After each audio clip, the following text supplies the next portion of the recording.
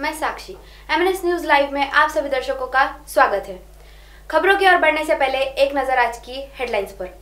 19 घंटों से नाले में फंसा है दीपक रेस्क्यू ऑपरेशन जारी। सुरक्षा बलों ने दो आतंकियों को किया ढेर।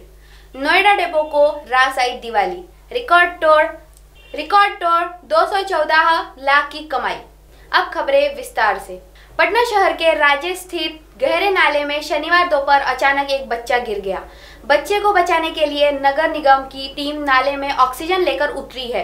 बच्चे को बचाने के लिए नगर निगम की टीम नाले में ऑक्सीजन लेकर उतरी। पुलिस और स्थानीय लोगों की मदद से बीते 19 घंटों से रेस्क्यू ऑपरेशन चलाया जा रहा है। जानकारी के अनुसार दीपक खाना लेकर जा रहा था। इसी दौरान एक सांड ने उसे नाले के पास टक्कर मार दी। इससे वो चार फीट गहरे नाले में गिर गया। घटना के तुरंत बाद इलाके में अफरा तफरी मच गई है। स्थानीय लोग नाले की तरफ़ दौड़ पड़े। लोगों ने बच्चे को नाले से निकालने की कफायत शुरू कर दी है।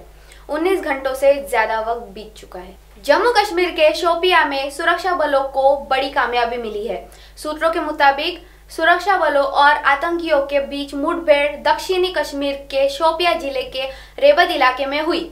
इन आतंकियों से सेना, एसओजी और एसआरपीएफ की संयुक्त टीम ने मुकाबला किया। सुरक्षा बलों में आतंकियों को पकड़ने के लिए जाल बिछाया गया था। रविवार को सुबह मुठभेड़ में मारे गए दोनों आतंकवादियों की पहचान हो गई है।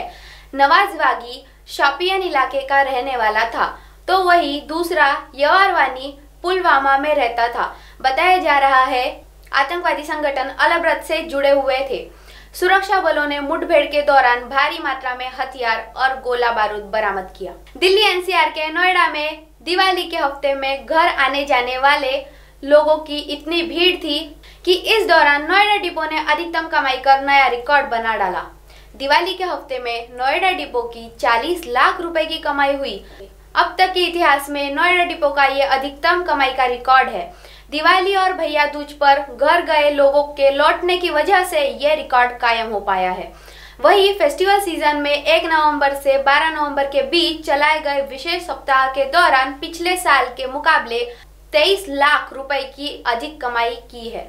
खबरों में आज के लिए इतना ही। एम एन न्यूज़ लाइव देखने के लिए आज ही प्ले स्टोर से एमएनएस हिंदी ऐप डाउनलोड करें और हमारे चैनल को सब्सक्राइब करें। नमस्कार।